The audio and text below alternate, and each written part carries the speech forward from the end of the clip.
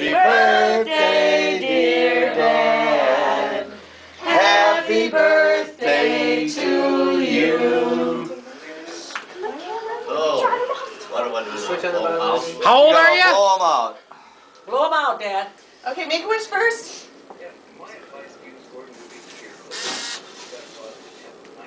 Whoa. He's got a girlfriend. Here I am.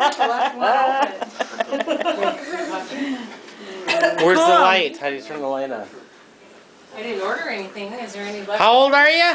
Oh, sure, there's 82. lots. 82? Okay, take him out, Madeline and Nobody Jax. and all kinds of Put 'em in- salads. That means including mom's gonna be buns. seventy